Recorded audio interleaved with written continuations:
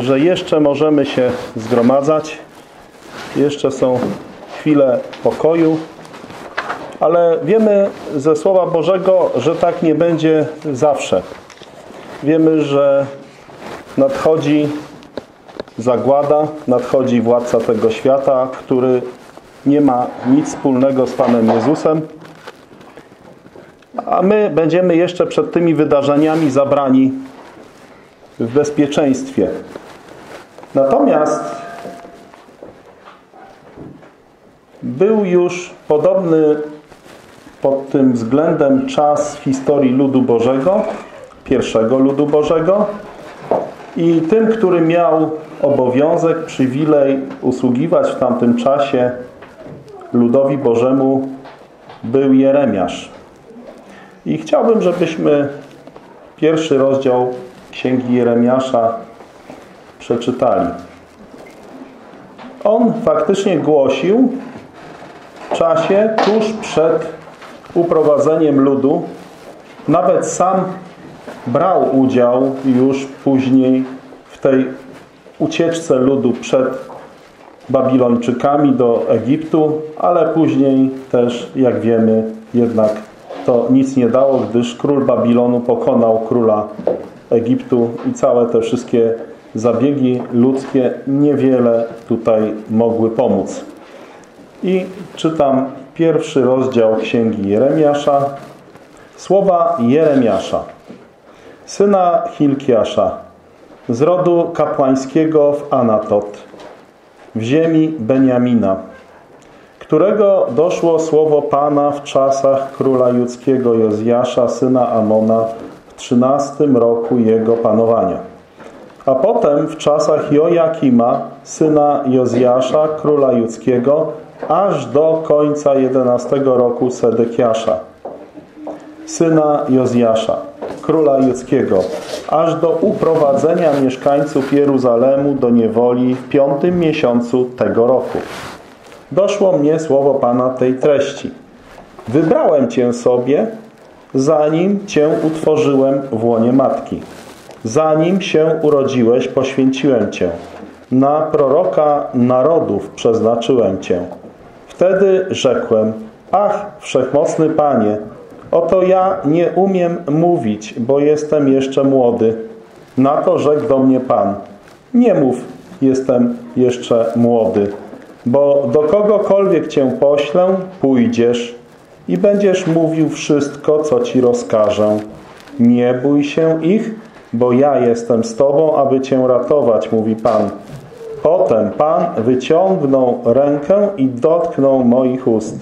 I rzekł do mnie Pan, oto wkładam moje słowa w Twoje usta.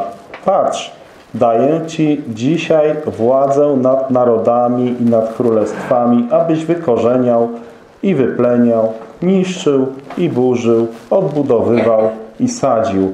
I doszło mnie słowo Pana tej treści. Co widzisz, Jeremiaszu? I odpowiedziałem, widzę gałązkę drzewa migdałowego.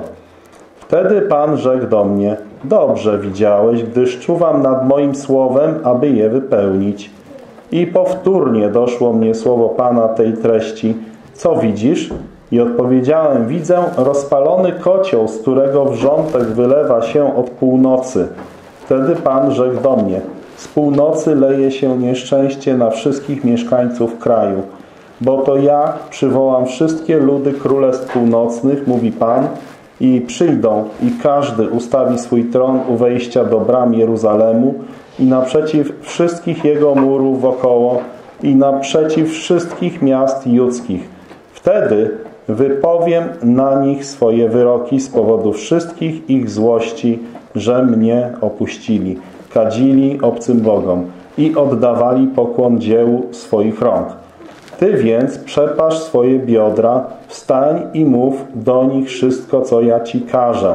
Nie lękaj się ich, abym ja nie napełnił Cię lękiem przed nimi.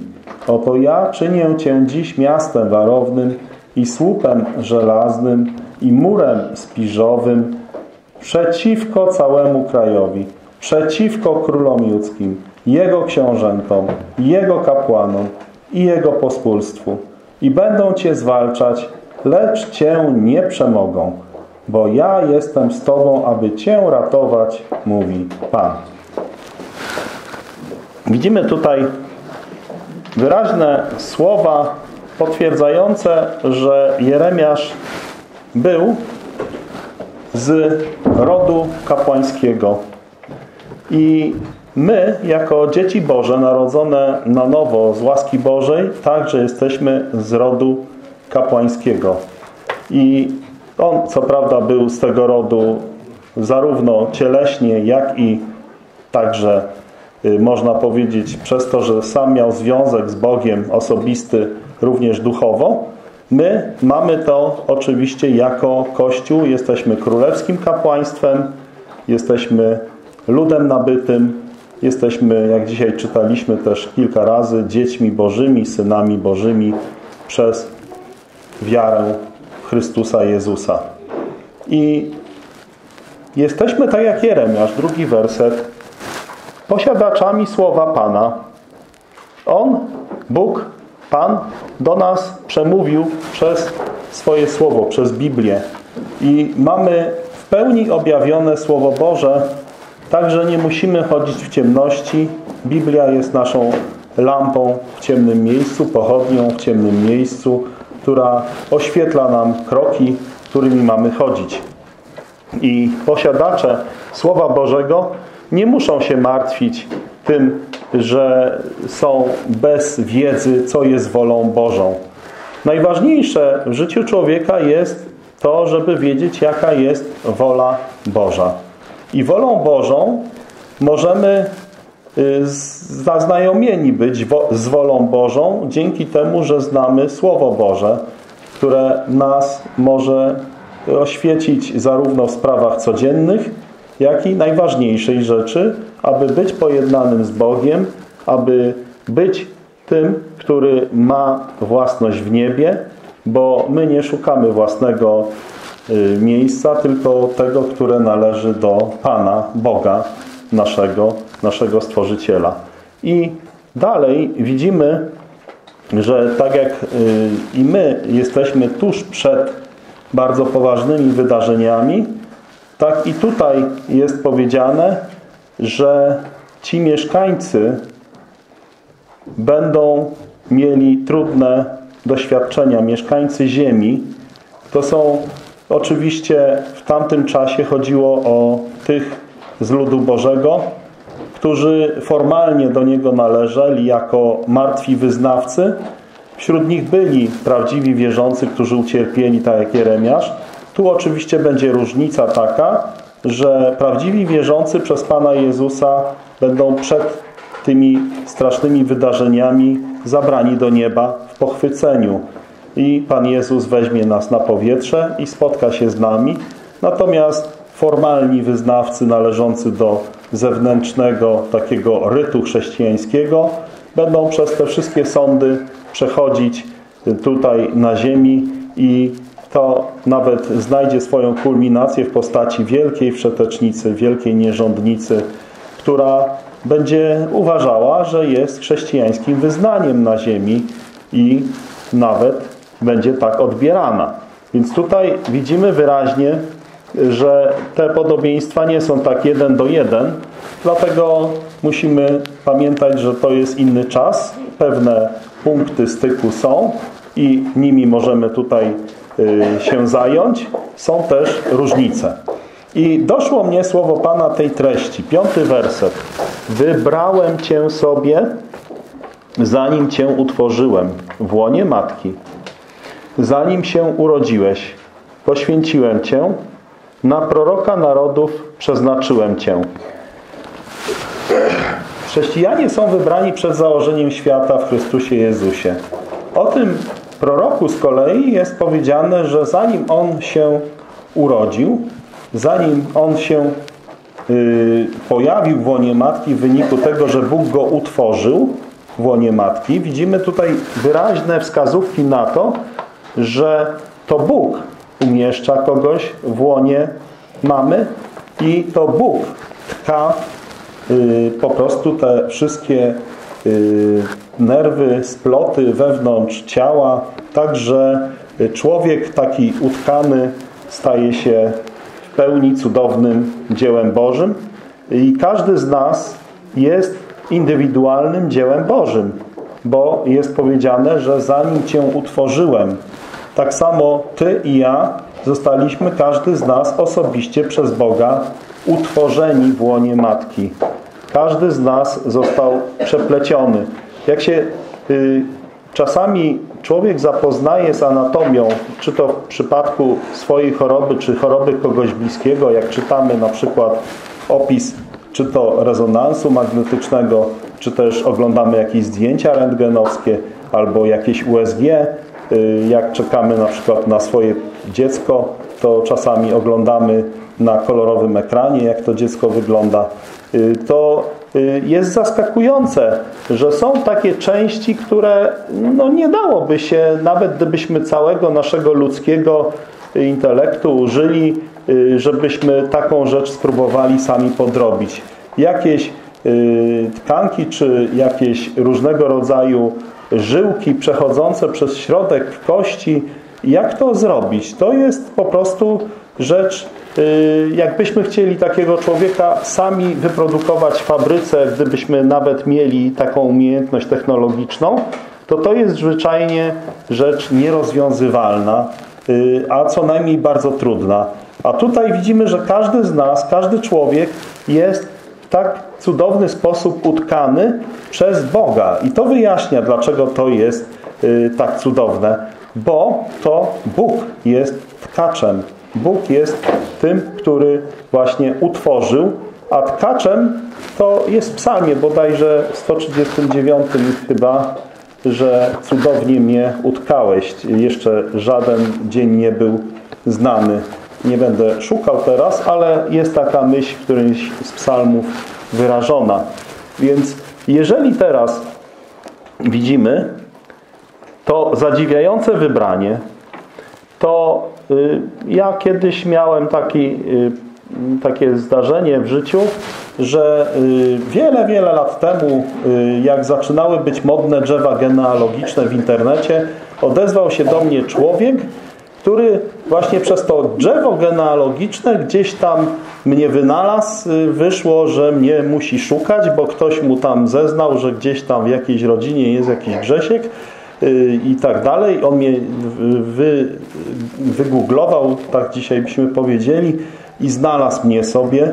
I się okazało, że y, gdzieś tam wyszukiwał te wszystkie, y, już całe to drzewo y, genealogiczne on przetworzył od strony mojej mamy, potem od strony gdzieś tam dalszych krewnych. I dla mnie to było zadziwiające, jak zobaczyłem, znając historię, bo akurat u mnie y, moi rodzice, moi przodkowie byli z chłopstwa. Z prostego chłopstwa, które było niewolnikami swoich panów.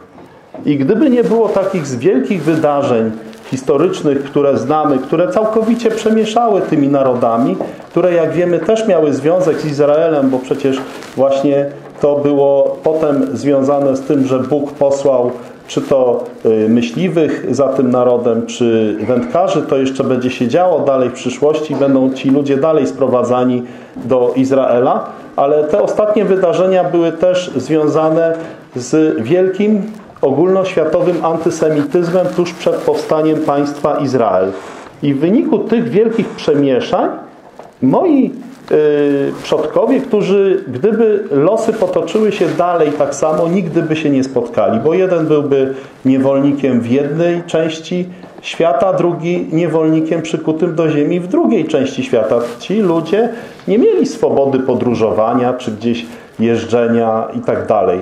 Natomiast te wielkie wydarzenia historyczne spowodowały, że ci ludzie się spotkali i jak popatrzyłem jeszcze na y, genealogię mojej żony i potem połączyłem rzeczy, y, że my się spotkaliśmy, to już w ogóle było przecudowne, ale jeśli teraz popatrzę na siebie, to człowiek nie mógłby zaplanować czegoś takiego. To Bóg musiał wybrać przed założeniem świata i potem te losy ułożył w sposób właściwy. Więc nie tylko jesteśmy utworzeni jako cudowne dzieło Boże w łonie, nie tylko sama biologia przekonuje nas, że jesteśmy wyjątkowi, ale też y, losy historyczne, ludzkie, jak każdy by spojrzał sobie, popytał rodziców, ojców, dziadków, to stwierdzi, że to są rzeczy niemożliwe, żeby ktoś taki jak ja miał prawo się w ogóle urodzić. I tutaj, jeżeli dalej widzimy, to widzimy, że Bóg miał dla Jeremiasza cel. Na proroka narodów przeznaczyłem Cię. Prorok to jest ktoś, kto w imieniu Bożym mówi do ludzi.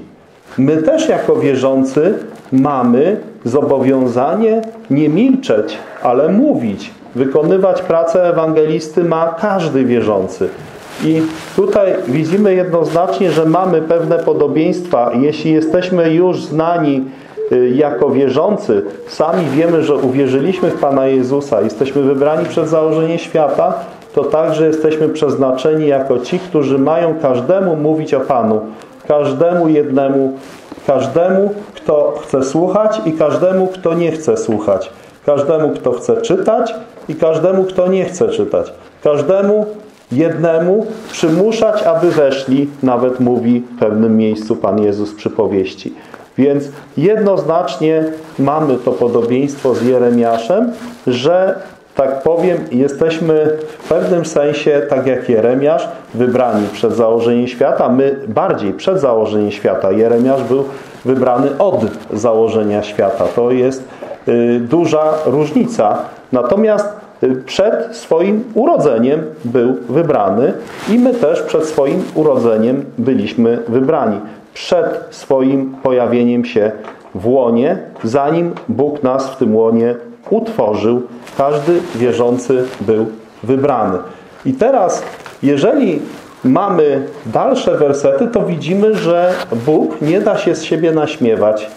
I nawet jeżeli Jeremiasz nie tak za bardzo chce do tego przeznaczenia się dostosować, bo tutaj on szuka wymówek, szósty werset, to to ja nie umiem mówić, bo jestem jeszcze, i tutaj można wstawić trzy kropki, bo to on tu powiedział młody, ale ty może masz inną wymówkę. Może jestem taki, może jestem taka, może mam taką wymówkę albo taką.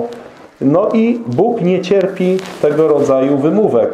Widać wyraźnie, że zakazuje mówić jestem jeszcze młody, a tobie zakazuje mówić jestem jeszcze i te trzy kropki, co sobie w te trzy kropki wstawiłeś. Bo do kogokolwiek Cię poślę, pójdziesz i będziesz mówił wszystko, co Ci rozkażę.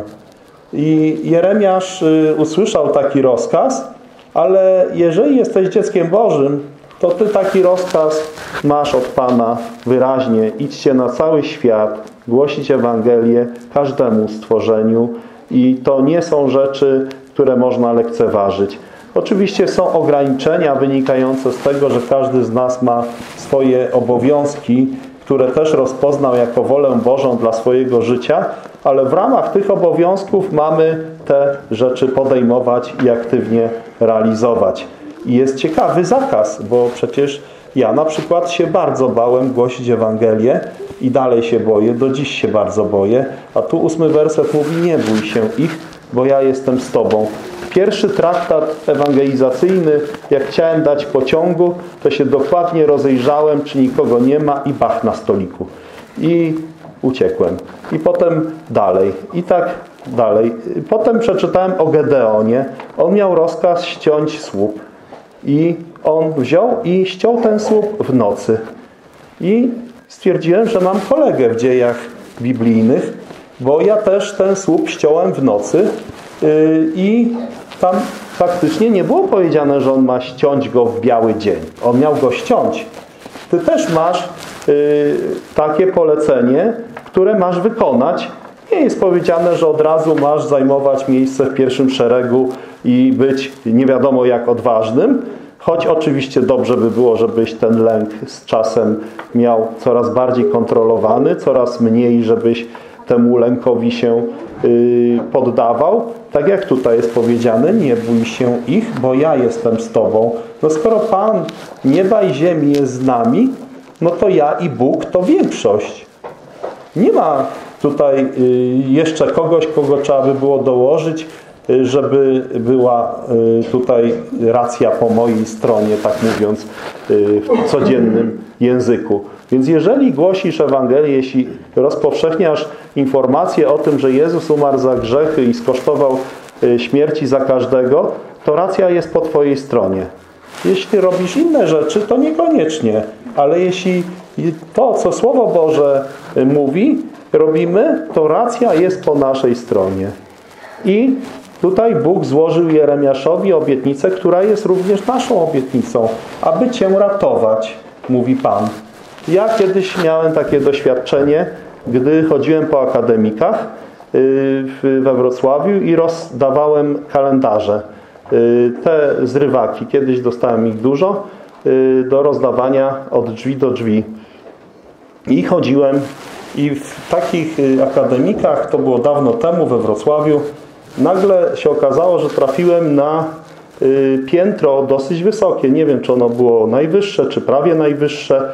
I trafiłem na bardzo niezadowolonych ludzi z tego, co robię. Byli oni wyznawcami mahometanizmu i oni byli studentami z zagranicy. I tam pytali mnie o różne rzeczy, o chrześcijaństwo. Ja im wytłumaczyłem, że Jezus jest jedynym prawdziwym Bogiem, że On jest Zbawicielem, że każdy, kto w Niego uwierzy, jest zbawiony, że nie musi wykonywać żadnych uczynków, że te wszystkie rzeczy religijne są zbędne, że wystarczy uznać Jezusa Chrystusa za swojego Zbawiciela, wiedząc, że Jego doskonała ofiara jest całkowicie wystarczająca.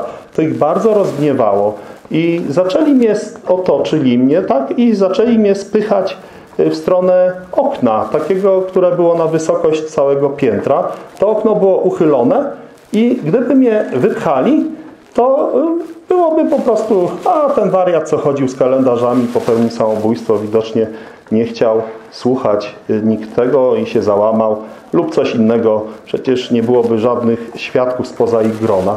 I już widziałem, że mam niewiele pola manewru i nagle obie windy się szeroko otworzyły.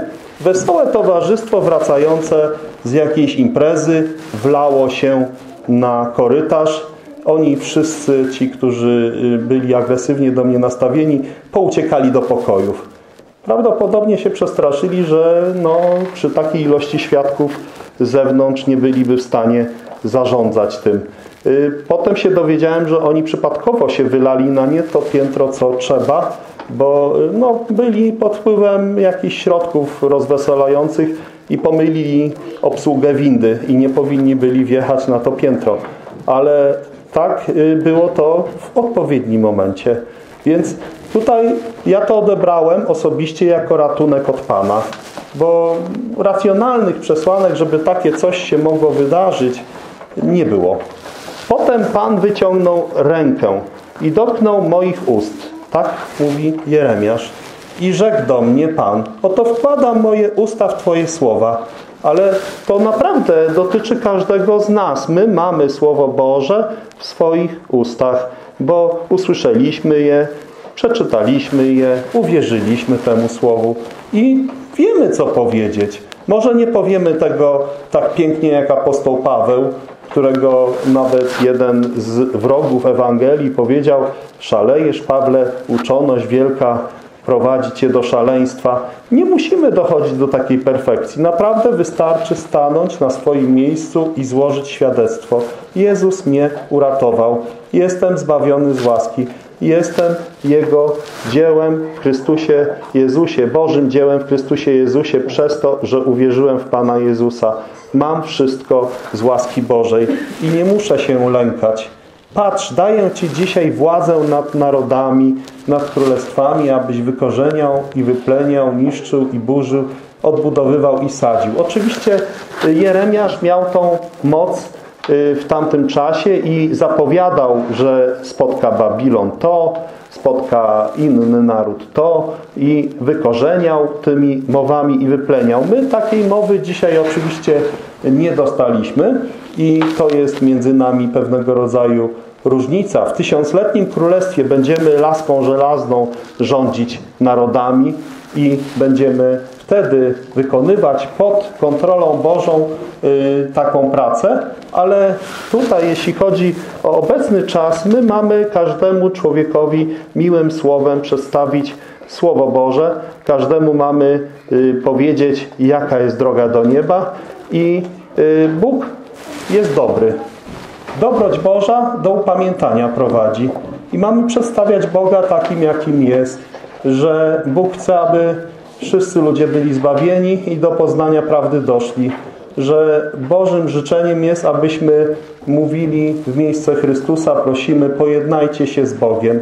Bóg jest chętny, żeby przyjąć każdego i to jest Jego oblicze na obecny czas. Oto teraz czas łaski, oto teraz dzień zbawienia. Oto pora tego zbawienia Bożego teraz jest. Może każdy przyjść.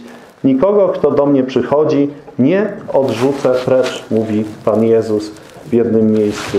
I my mamy być tymi, którzy te rzeczy ludziom przedstawiają. I teraz przechodzimy do testu. I Bóg tak jakby pokazuje z jednej strony Jeremiaszowi, jak ma interpretować różnego rodzaju wizje, uczy go tego, ale to też jest przesłanka do nas. Bo my, czytając Słowo Boże, musimy wiedzieć, że Bóg nie zostawia bez wyjaśnień swoich obrazów. Wszystkie obrazy, jeśli są, to one są najczęściej bezpośrednio wyjaśnione albo w późniejszych fragmentach Słowa Bożego wyjaśnione.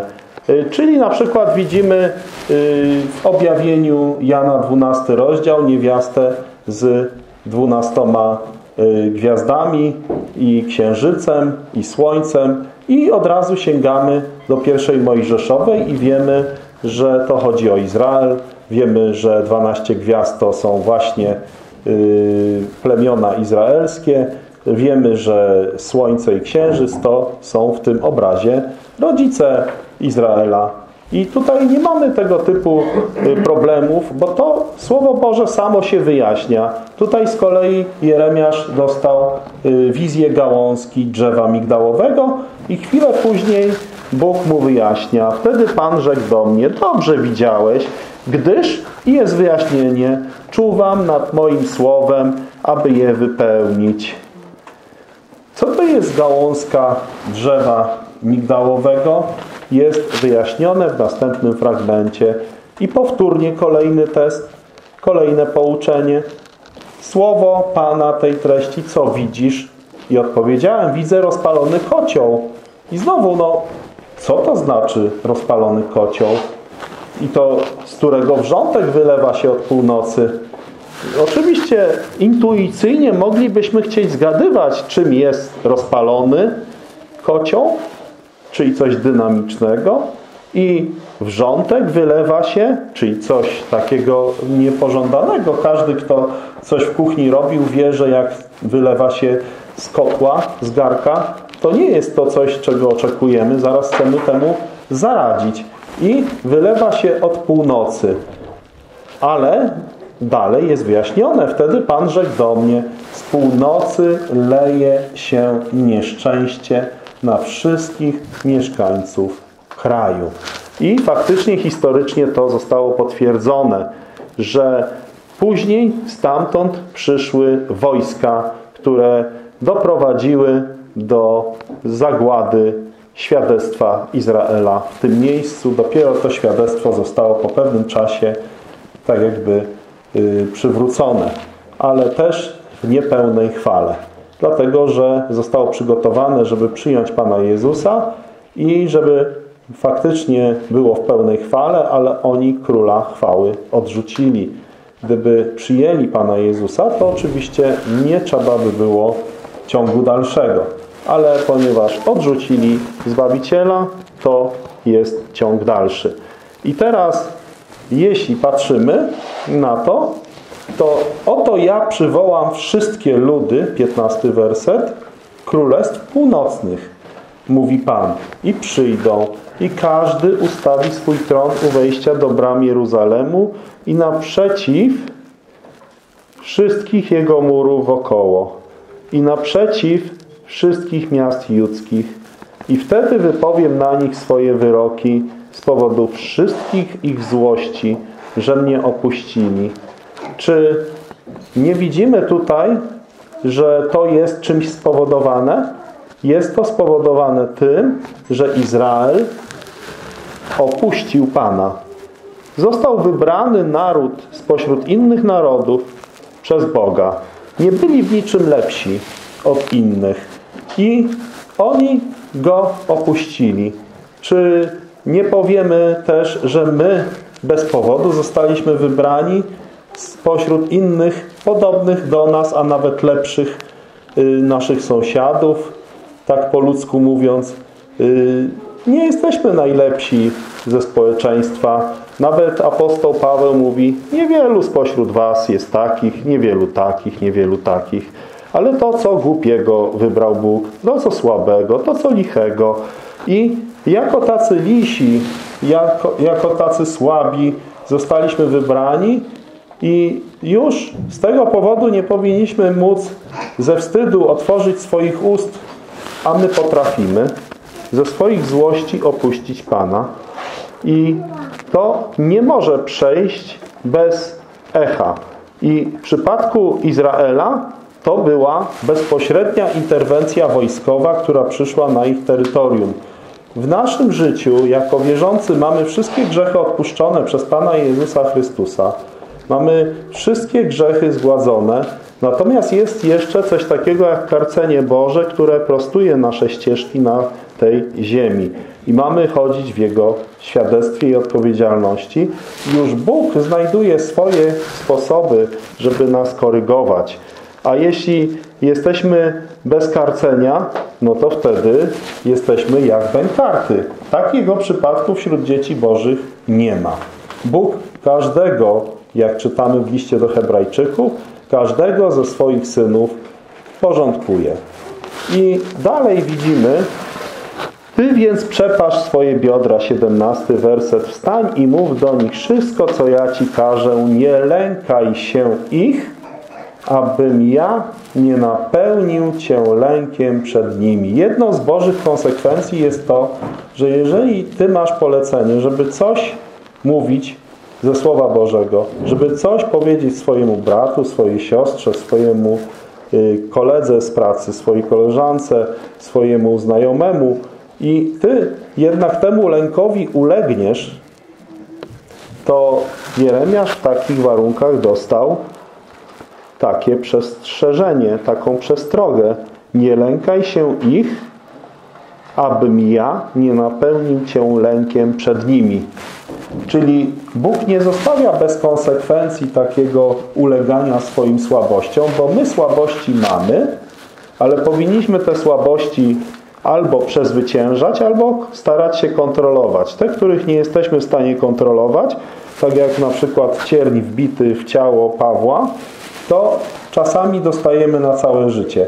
Ale są rzeczy, które się Panu nie podobają w tym zakresie, jeśli On wie, że my je potrafimy przezwyciężyć i nie chcemy ich przezwyciężyć. Tak było w przypadku Jeremiasza powiedziane, nie lękaj się ich, abym ja nie napełnił Cię lękiem przed nimi. Oto ja czynię Cię dziś miastem warownym i słupem żelaznym i murem spiżowym przeciwko całemu krajowi Pan Jezus powiedział, że oto przyszedł rzucić na ziemię miecz i nie przyszedł dać pokoju i będzie dwóch przeciwko trzem, trzech przeciwko dwóm, jednym członkowi rodziny przeciwko drugim członkom rodziny. I my mamy taką właśnie sytuację, że jeśli mówimy Słowo Boże, jeśli mówimy coś na temat Słowa Bożego w swojej pracy, w swoim otoczeniu, po sąsiedzku czy po rodzinnemu, to wtedy nagle trafiamy na dziwne zjawisko. Jedni się nam sprzeciwiają otwarcie, Inni jak żmije udają przyjaciół po to, żeby w najbardziej nieoczekiwanym momencie ukąsić. Inni z kolei udają zainteresowanych po to, żeby jak najwięcej wytracić tej energii, dossać się tak jakby do pewnych benefitów, które może dać wierzący i udawać czasami nawet całymi latami, ale o błudzie, tak jak normalnie w czasie działań wojennych się to dzieje. A tylko niewielka garstka naprawdę uwierzy temu słowu i przyjdzie do Pana Jezusa.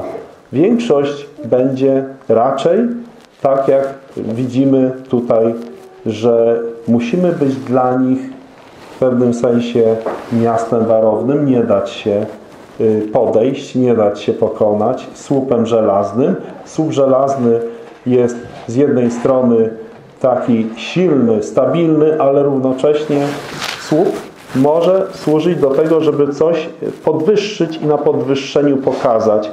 Mur spiżowy przeciwko całemu krajowi, czyli taka bariera, czyli jak to bezbożność się gdzieś w naszych okolicach rozlewa, to my mamy temu stawiać opór, tak jak robi to mur oporowy, mur spiżowy. I przeciwko różnego rodzaju wpływom. Tutaj Jeremiasz miał przeciwko sobie królów judzkich. Cóż za tragedia. To byli ci, którzy formalnie mieli stać po stronie Słowa Bożego. Oni mieli strzec zakonu, a on miał ich przeciwko sobie. I my też będziemy mieli dużo przeciwników z Biblią w ręku przeciwko sobie. I to będą tą Biblię znali czasami lepiej niż yy, my. I będą ją nawet cytować z pewnymi dużymi fragmentami. I książętom, i jego kapłanom. Czyli widzimy, że Jeremiasz miał przeciwko sobie samą śmietankę swojego narodu. I także, żeby nie było tak, że tylko elity będą przeciwko niemu, jego pospólstwu. Czyli widzimy, całe społeczeństwo jest przeciwko Chrystusowi. I w naszych czasach też tak jest. Czy Syn Człowieczy znajdzie wiarę na ziemi, gdy przyjdzie? Takie pytanie Pan Jezus postawił i tego typu pytania pierw, gdy je czytamy, przywodzą nas do naturalnego zadania sobie pytania, czy prawdziwą odpowiedzią nie jest przypadkiem, że nie znajdzie? Bo to jest pytanie, które zadaje się ku przemyśleniu. Jak wiemy, będą pojedynczy wierzący, którzy będą przez Pana y, zachowani, ale to jest w porównaniu z całą masą resztka. Niewielka resztka. I będą Cię zwalczać, lecz Cię nie przemogą. Taką dostał obietnicę Jeremiasz. My także mamy nieutracalne zbawienie, ale również przede wszystkim wieczne. O ile Jeremiasz był chroniony do tego czasu, gdy Bóg wyznaczył mu koniec służby, tak samo my mamy tutaj pewnego rodzaju gwarancję, że jeśli jesteśmy w służbie Bożej, to Bóg troszczy się o to, żeby Jego zadanie było wykonane aż do czasu wyznaczonego przez Niego. Nikt nie może spowodować, żeby chociaż dwa wróble spadły bez woli Bożej, a my jesteśmy więcej warci niż wiele wróbli. Żeby spadły wróble na ziemię, to najpierw musi Bóg Ojciec wydać dekret. Tak samo, żeby coś stało się dziecku Bożemu, to najpierw diabeł musi dostać pozwolenie od Boga na to, żeby mógł dotknąć Hioba i żeby mu coś zrobić. Podobnie jest z dzieckiem Bożym, że nie może być tak, że bez woli Ojca cokolwiek nam się przydarzy. Dlatego my mamy tylko jedną drogę komunikacji. My mamy rozmawiać z Bogiem Ojcem o tych sprawach, które nas dotykają. Mamy tego, do którego możemy wołać zarówno w dzień i w nocy. Bo ja jestem z Tobą, aby Cię ratować, mówi Pan. Pan Jezus każdego, kto uwierzył Mu, uratował raz na zawsze. Zbawienie jest z łaski niezależnie od uczynków, zbawianego, a wszystko jest oparte na dziele Bożym, na dziele, o którym Pan Jezus powiedział, to jest dzieło Boże, wierzyć w tego, którego On posłał.